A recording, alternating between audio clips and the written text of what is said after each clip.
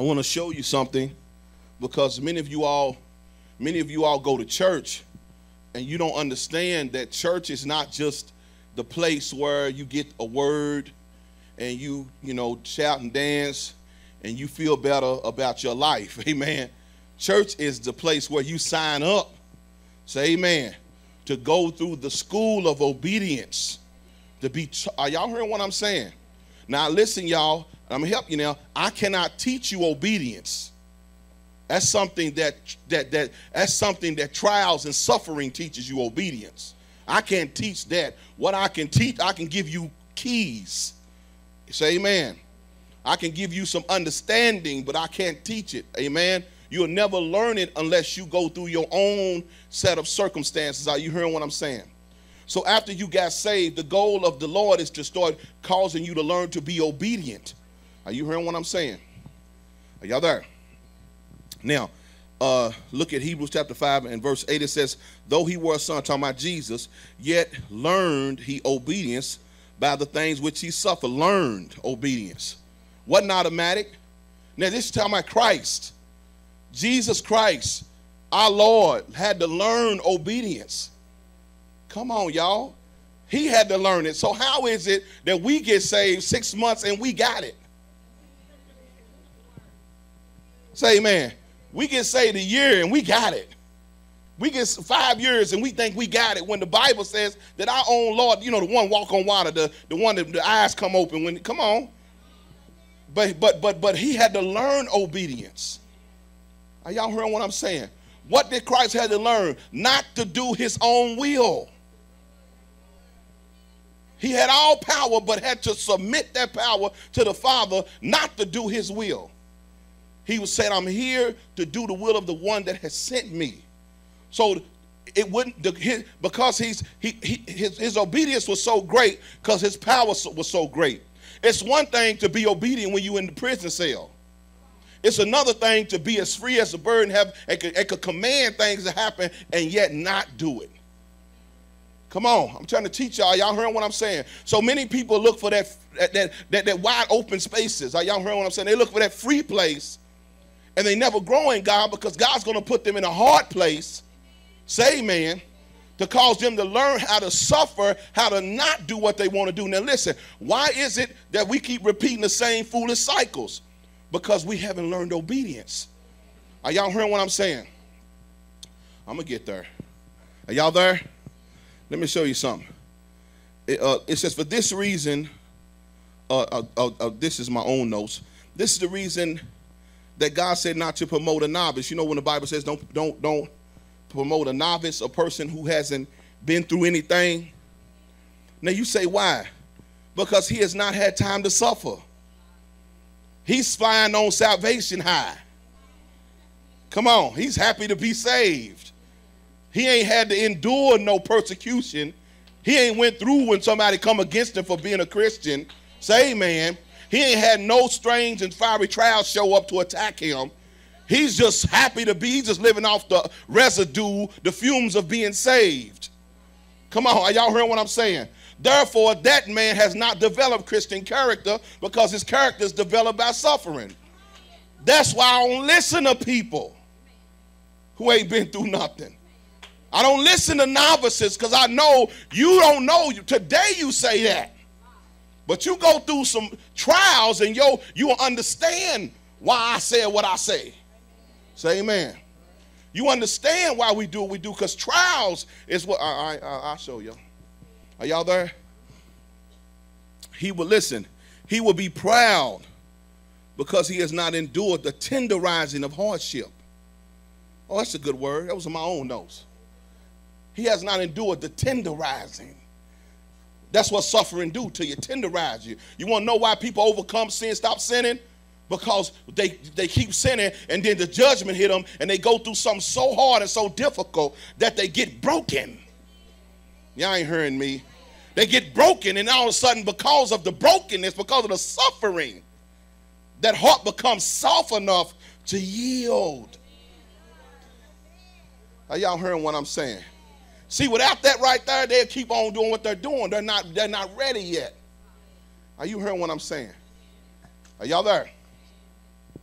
So many of you all have grown.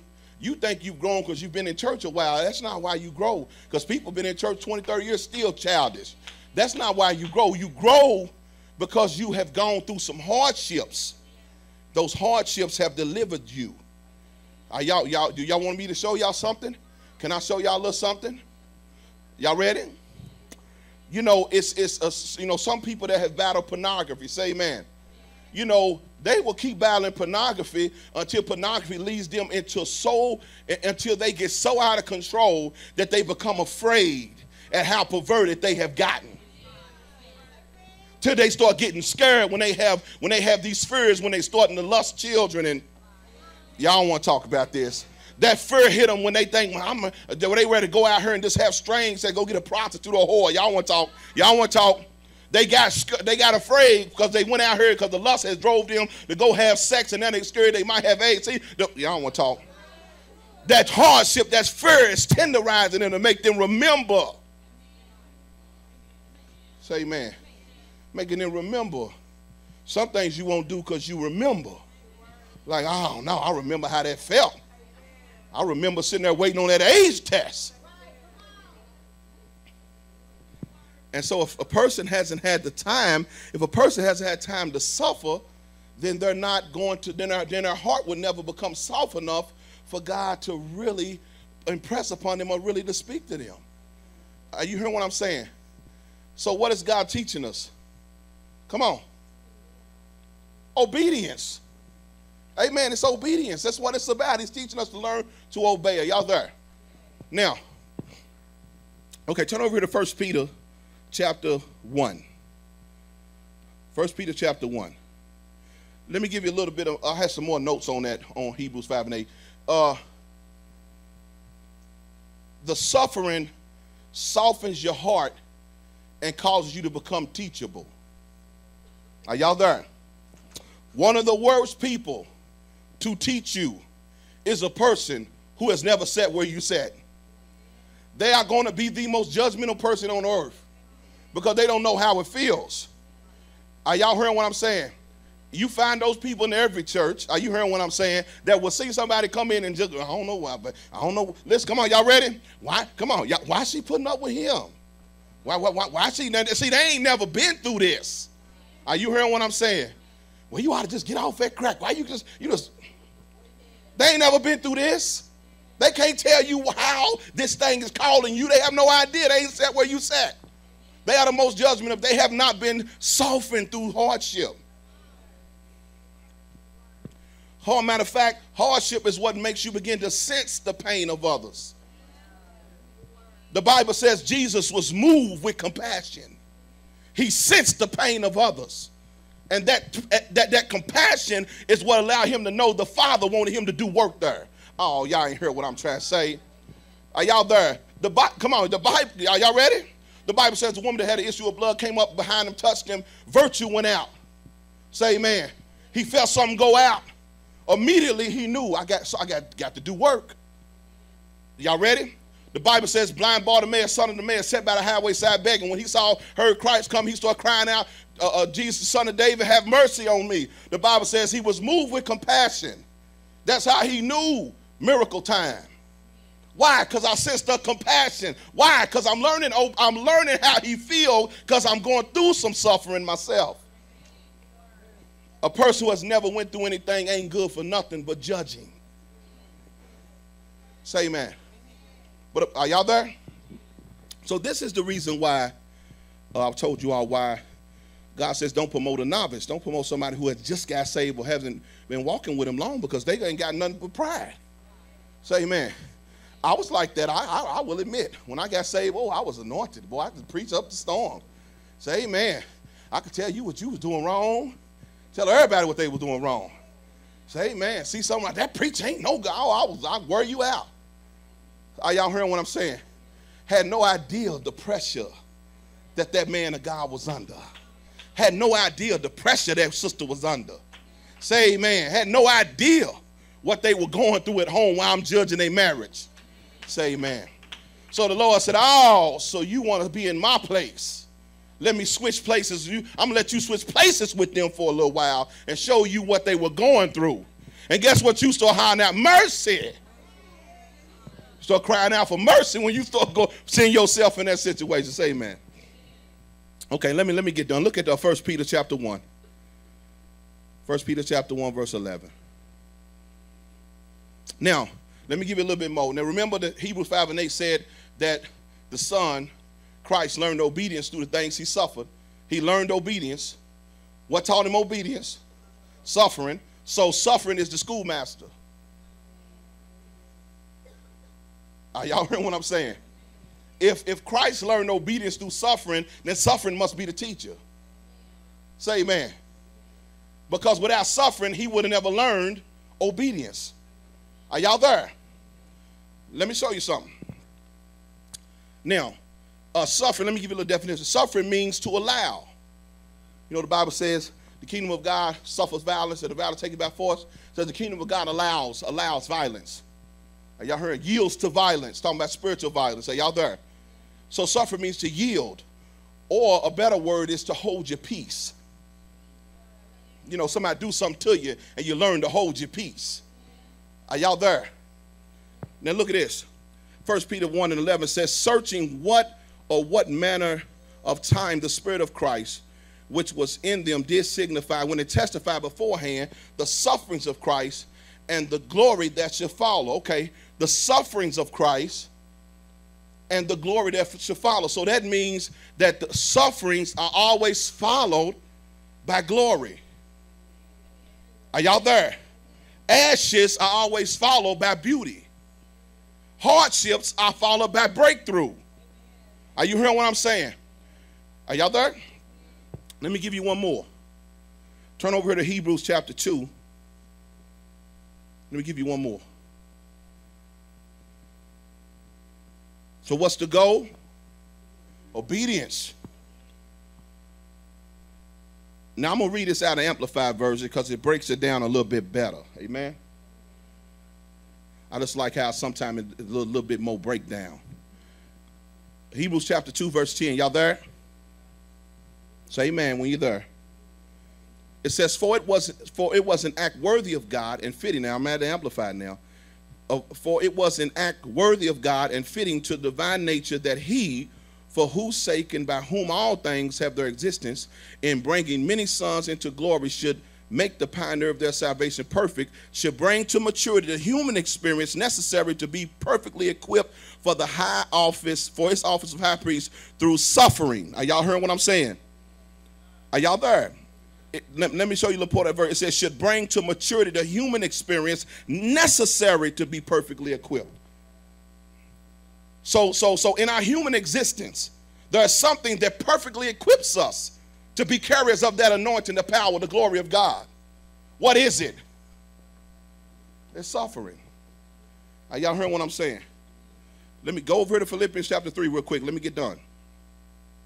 Philippians chapter 3, we're going to look at verse 10.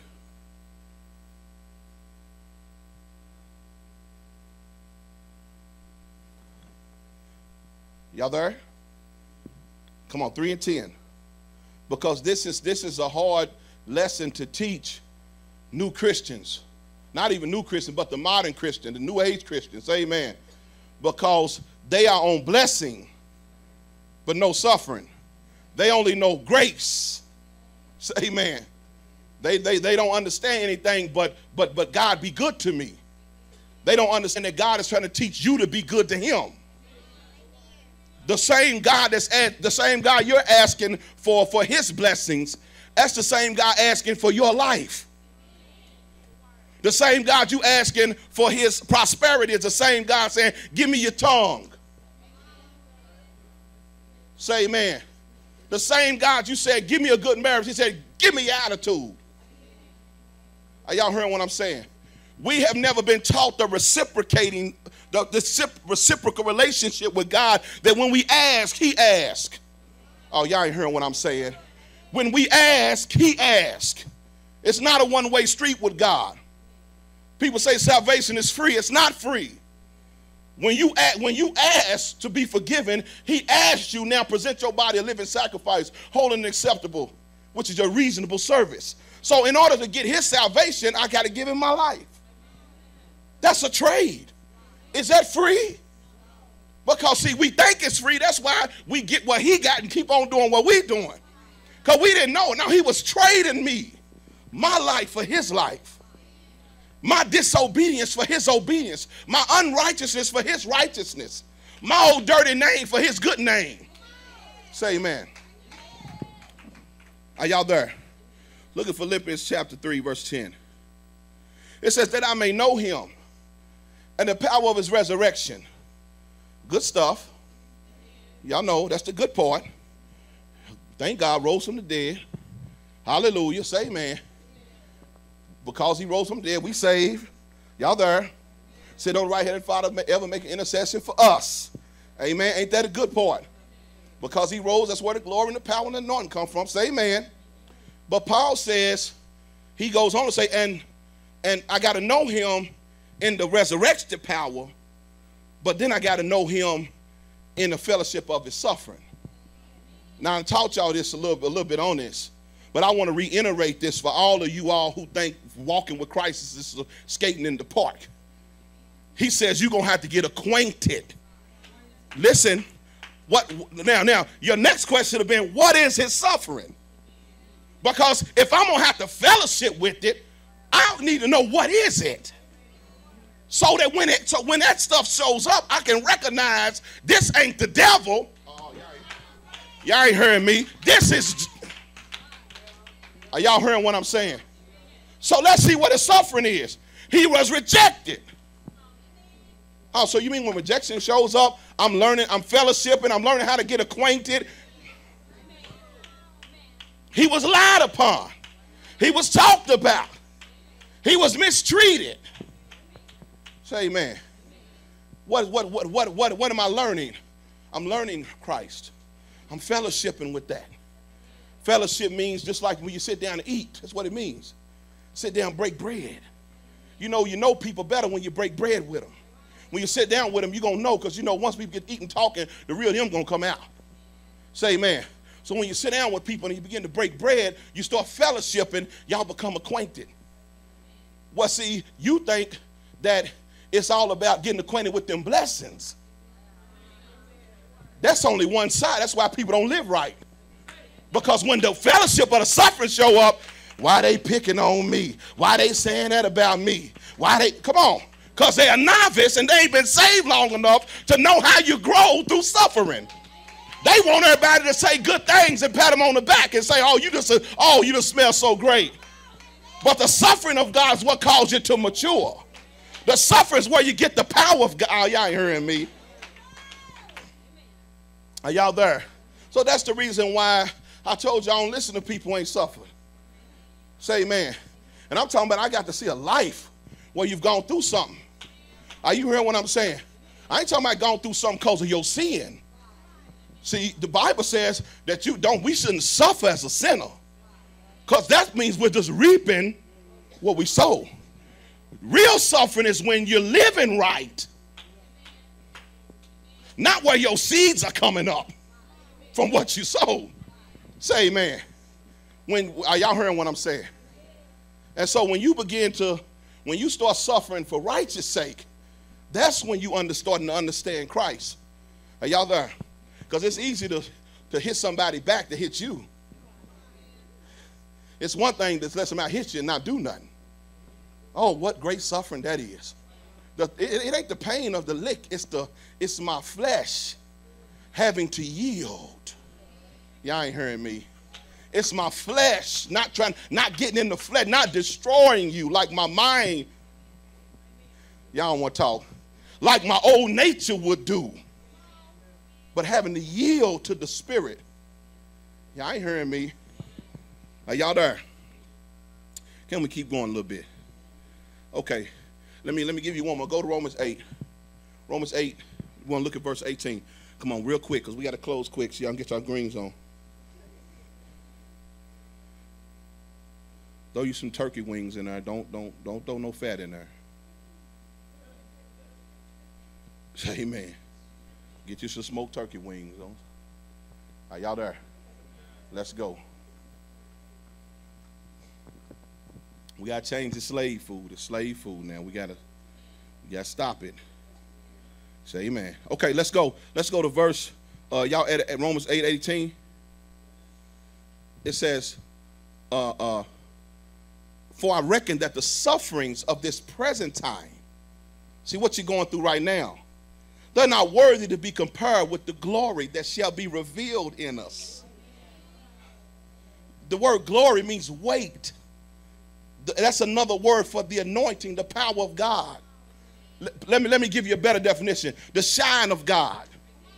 When people, y'all ain't want to hear me. See, you see, see, when people see, see, when people see the, the, the, the, the, revelation start to come out of you, that's what you suffered for. See, when people, see, a lot of times people hear me preach and they be thinking, oh boy, you just, man, I ain't got no sense. I don't know nothing. I had to learn that in order to get some knowledge. See, matter of fact, oh, I'm gonna bless y'all. Matter of fact, see, Paul said it like this everything I gained in the world, I counted it as dung. See, all of that slick, smart way I was, all of that old crafty, uh, uh, uh, uh, being slick to women, all that, all that old way to talk you out of some con man ways, I had to die to that to get some real knowledge. Now, see, the reason why I don't listen to people because they talking, but they using that old man. They talking scripture out of the power of the old man. They trying to convince me with their head knowledge. But I don't, oh, y'all ain't hearing me, but I don't sense the power of God. Why? Because the power of God means I've had to give up some things. I've had to suffer through some things. In order, because why? Because he trades me. See, nobody will ever have great revelation, great revelation of truth, if they never give up anything. Because, listen, y'all, great revelation is a trade. God literally, I'm y'all, y'all, y'all want me to show you? I'm gonna bless y'all now. Remember, Paul was talking about he got caught up in this trance, right? Paul said, I went up to the third heaven and I looked over and saw all of these, these, these great things in the third heaven. He said, I can't even tell y'all. It was so, it was so beautiful. I couldn't express it with words. Right after Paul said that, he said, and an agent of Satan has came to buffet me I've got a thorn in my flesh because of the measure of revelation. He said, God gonna balance me out. Oh, y'all ain't hearing me. That the greater, the greater the knowledge I get, the greater the suffering I need to get, so I don't become no God. So I don't draw men to me, but I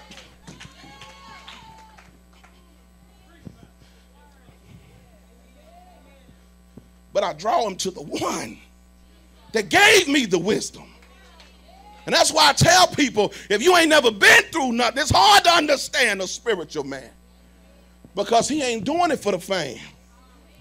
He ain't even trying to cut you because he's trying to show you how tough he is. He's trying to get you to get on this journey to get you some glory in your life. Instead of running from when people try to deal with you because you ain't realizing it's God. It's God poking on your attitude. It's God poking on your rebellion. But you don't know that because you ain't been around him long enough and you ain't discerned the ways of God. Because you've been taught it's all about blessing. But the Bible talks about this other side of Christ, which is that suffering side. Y'all ready? That side you don't always get what you want. That's the side where he says no. Say amen. That's the other side. No, see, more notice. Don't nobody want to talk about that side. Let me show y'all this. Oh, I got, I got to close. This side is so secretive almost that Jesus had to go through this alone. When he went to the Garden of Gethsemane by himself, he had to go by himself alone. He had the cup, and this cup was symbolic of the suffering he was going to have to go through to redeem us. He couldn't go through that in front of people. It was, it, it was that backside of the desert situation. Say amen. And the Bible says that he at he started he, because he he could foresee what he's gonna have to suffer. That he started praying as blood started coming out of him. Because he was praying so hard about this, this, this cup that he was gonna have to drink. This suffering he was gonna have to endure. Say amen. So he starts saying, listen, remember, nobody saw that. Peter, James, and John, where were they at? Sleep. even the people that was walking with him was sleep. See, y'all so scared to be alone with God that you feel you, oh, y'all ain't hearing me. You want to know God for real? Oh, cut off everybody and get alone with God. Go sit under a tree with the word of God and say, dissect me. And, and he'll lead you to this cup where you have to see the cost. That's why Jesus said, No man build a house without counting the cost. No man go to war without counting the casualty. So in the Garden of Gethsemane, there was a cup. See, many of y'all ain't never seen it. Y'all don't know what it is. Because this cup is something we never choose. Come on, you'll never choose this. You'll never choose to go through that. But the cup is the cup is your you have to go through the garden to get the destiny. It's the hard places. Matter of fact, a better word is called the dark night of the soul. It's the place where you learn submission to God's will. You learn to shut your mouth. You learn to put you learn to die for the pride. You let oh y'all ain't hearing me. You let God start getting in you for real and dealing with how you really are. The real you surfaces. Come on. Now Jesus walking on water talk, talking about Peter. Remember Peter, Satan get behind me. Uh, he was talking good till the Garden of Gethsemane came up. And he's starting to pray, oh my God, if it be thy will, let this cup pass from me. Because he thought, this is wonderful as long as I'm doing miracles, long as ain't no sacrifice. But God led him to sacrifice. For all of y'all who don't believe God gonna take you through nothing, he leads you to sacrifice. The story of the Garden of Gethsemane is symbolic of the story of Abraham. When Abraham was skipping because he got Isaac. Oh, he was happy about Isaac. And then God said, I need him. Bring him on up to the mountain, Abraham. Sacrifice him. And Abraham couldn't do it. Well, he, he was obeying, but it was hard for him. Why? Because, oh, you mean to tell me you bless me so I could sacrifice? You bless me so I could sacrifice. So every time you give me something, you ask for something. Now, did God want Isaac? No. He wanted obedience. He wanted him to obey. When Abraham was willing to do it, he said, Oh, you ain't got to kill him because you, I know you would obey me because you was willing, willing, you were yielding. So he learned obedience. All right, come on, y'all. So in the Garden of Gethsemane, when Christ had to drink of this cup, that's when he, all heaven and hell, showed up to fight him from doing the will of God. And many of you, while I'm telling y'all, I promise y'all, many of you have, have never understood and never gone through that your own garden of Gethsemane, that dark night of the soul. The dark night of the soul is it's not the place where you all at. It ain't the place where your gifts are showing. It's the place where you see you for real. The real you. The liar you. The ornery you. The lust for you. The pornography you. The perverted you.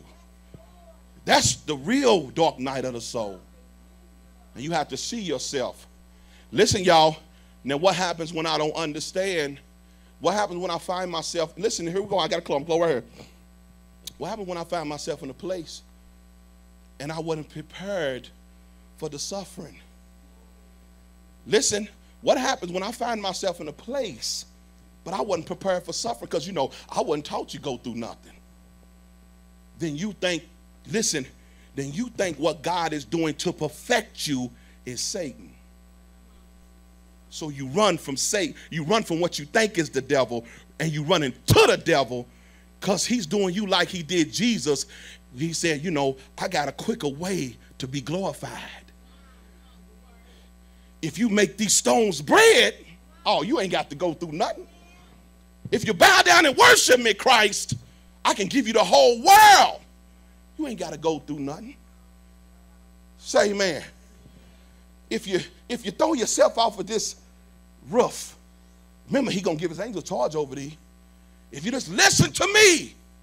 So we running from God to Satan because Satan makes make Satan makes running from God look easy. Oh, y'all heard me. When see, uh, I, am I'm, I'm done. I, man, I feel the revelation. When Jonah, when God told Jonah to go down to Nineveh and preach, Jonah ran and got on the ship. And he went to sleep because it was real easy running to get on that ship until the season changes and God is saying, I told you to do what I told you to do. The Bible says the way of the transgressor is hard. Say amen. The only thing I liked about Jonah is that when the sea got to troubling and the men knew that somebody done sinned on the boat, and these were heathens, they figured, they told everybody, call on your God. They knew somebody done something. Jonah said, that's the only thing I liked about him. I did it. I did it. I know this trouble is from God. I'm making my family suffer because I won't go through it. My children are suffering because I because I won't go through it. The trouble is from God. And everybody that when I get on other people's ship, the ship starts sinking. Because God's after me, and everybody getting tied up with me goes down with me. Their finances go down with me. Their life goes down with me. Oh, y'all heard what I'm saying. Because God's after me. And I ain't figured out that this suffering is part of his will. So I run away. I run away from the, I run away from people squaring me up. I run away from people having to tell me about me. I make an excuse that, why are you saying that about me? I, may, I get spiritual. You know, Jonah got spiritual about it. I get spiritual because, you know, I know God too. Oh, there we go. God speak to me too. But you don't know the God that's speaking to you wants you to go through this hard place, but you don't hear God in them hard places. So you heard God say, go on over this church over. Go over here where they sit in the back Fold your hands, close your eyes, and never be challenged. Or you can stand there, let that man of God square you up. Take that word and gut you like a fish till all the poison and the bitterness come out so the glory of God can come upon your life and you can shine for Christ. Oh, y'all ain't hearing me. Y'all hearing what I'm saying. God, let me, I, I got to close. I'm done. I'm done. I'm done. I'm done. Let me, let me, can I give y'all one more thing? Let me give you one more thing. I'm done. Are y'all there? Now, now, now, now, this, this one more point I got to get out for before I close. Come on, say, don't be Jonah. Amen. Don't be Jonah. Amen. Stay in the hard place. The greatest person in your life was the one that was willing to tell you the truth. The one that was willing to not to compromise, but say, you know what, I don't care if you don't like me no more but I'm going to deal with you because I see your pattern and I see your cycle. And if I don't deal with you, you're going to repeat this cycle in another year and you're going to leave another trail of tears. So I got to, y'all ain't hearing me. That's the man that you love the most. You don't love him now, but boy, when you get to heaven, you're going to love him. You're going to love that man that dared to tell you the truth. Say amen. That's why I tell, I tell them, what, what could you give for an anointed vessel? What you give for somebody who just tell you the truth? My God. What could you give with all these jelly back spineless preachers that won't tell you the truth? Because they want your little tithes and your little offering. I'd rather let you leave here with this with this sword of the spirit sticking out your back and keep your two dollars in your pocket and leave here with the word of God bothering you like it was bothering Jonah. The word of God waking you up at night, making you pace your floor because God is dealing with you. Say amen. Oh my, come on, son. Hallelujah. I can't go. Stand on your feet. I jumped off. I feel it on me. Stand on your feet. Hallelujah. Hallelujah. It's one thing I've always asked for. God deal with me. I never thought I was too too good. I always said God deal with me. When men of God squared me up, I used to thank God because I said, You love me enough not to leave me, not to let me deceive myself and think I'm something that I'm not. Deal with me. Because it was my way, it was my pride that was closing doors in my face. It was my pride that was robbing me of my money. It was my pride that was making me mess up my relationships. So when the man of God came to me and said, The Lord told me to tell you, oh yeah, I'm, I'm happy. Oh yeah, what the Lord tell you, tell me. Oh yeah, I'm ready. Because I know the Lord gonna tell you something good about me. The Lord said, Put away cunning craftiness. You a slick con man. You a con. I was standing at the altar. Everybody heard it. My pride was hurt. And the Lord said, Swallow it. Swallow it. Now don't you get mad, swallow it. And I swallowed it. And the Lord said, It's medicine. It's bitter on the tongue, but it's going to be sweet when it get in your spirit. And I began to, and after that, the Holy Spirit started showing me my little crafty ways, my little ghetto ways, my little get over mentality. And he started, he started letting the fire begin to purge me. The revelation of God started to burn in my heart, and it burned up my wickedness. Say amen. So that's why I never ran from men of God. I never ran from a tough word. I'd rather be embarrassed than to leave deceived. I'd rather you embarrass me than for me to leave out the way I came. Say amen. Come on, play, son. Lift your hands to the Lord. We're going to pray. Hallelujah. Oh, we serve a mighty God. We serve a mighty God that would deal with us. Lord, it's your anointing that we're after. We're going through the hell because we, we want the power of God to show up when we need it to show up. In the midnight hour, we want to sense you near. When we open our mouth to talk about your goodness, we want that power to come out, Lord God. We want to be, we want to shine for you, to be the light you called us to be. We're not going to have altar call. You can pray right where you are. I want you to repeat something after me. Say, Father, in the name of Jesus, I repent for running from you, from your ways. You said in your word, your ways are not my ways. My thoughts are not your thoughts. I don't understand how you do things, but my job is to yield to you. So I yield tonight have your way. Whatever you want to do, whatever you need to move, do surgery on me. Cut out whatever need to be cut out. Rearrange whatever needs to be rearranged. Make me over again into a new image that gives you glory and honor in Jesus' mighty name. Come on, in Jesus' mighty name. Give God some praise.